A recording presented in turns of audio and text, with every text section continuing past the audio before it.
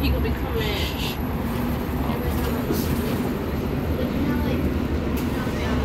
Route 4, Cottage Grove to 95th